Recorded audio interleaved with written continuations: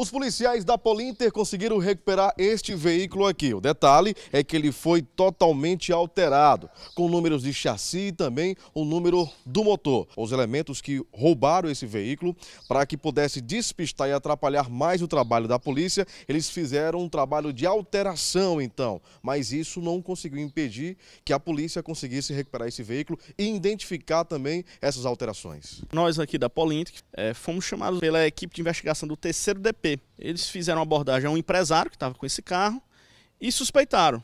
Mas só que aqui foi feita uma adulteração muito perfeita.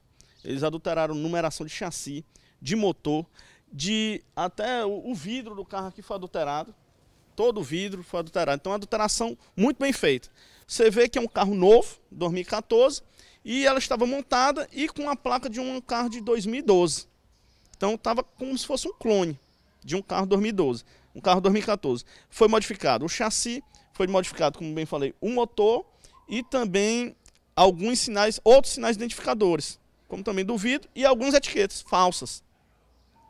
Ele fala ah, fui enganado. Não, que você imediatamente você tem que procurar as autoridades quando compra um carro. Por isso que eu deixo um alerta para as pessoas. Quando for comprar veículos seminovos, usados, vai nessas lojas de usados, de veículos usados, você não sabe a procedência, você vem aqui na Polinter e faça vistoria. Nossos vistoriadores são expertos no assunto. Não tem um carro roubado que passe aqui pela vistoria do, da Polinter que não seja derrubado. Então, venha para cá. Vai comprar um carro usado? Venha na Polinter. Faça uma vistoria, tire sua dúvida. Não confie só na conversa de vendedor, que está caindo muito vendedor aqui desonesto. Então, pega no carro, modificando, fazendo as modificações e vendendo para o pessoal.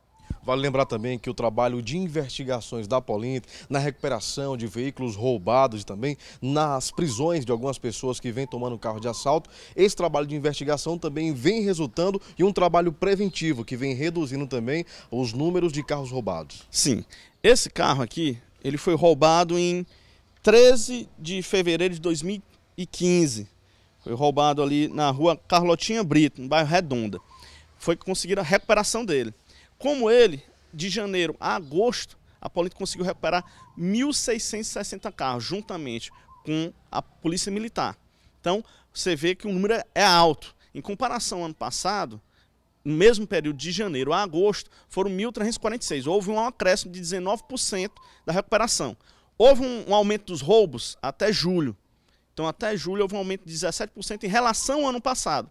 É o trabalho da polícia, através da Polinte também, com apoio da Polícia Militar. Os trabalhos de investigações estão também sendo trabalhos preventivos, porque de acordo com as recuperações dos veículos que são tomados de assaltos e também com as prisões de pessoas que vêm praticando crime, tomando carros de assalto, isso vem também coibindo a ação de elementos que roubam veículos. Este carro aqui foi roubado, foi todo adulterado, mas a Polinte também conseguiu recuperar esse carro e identificar essas alterações. E agora ele ele vai ser entregue de volta ao proprietário após todo um trâmite burocrático, é claro, para que ele possa comprovar a propriedade do veículo. Mas o interessante é que a Polinter, além de investigar e recuperar e prender, também está coibindo as ações de elementos que vêm tomando veículos de assalto. Com imagens de Cipriano Alves, Chico Filho, na mira da notícia.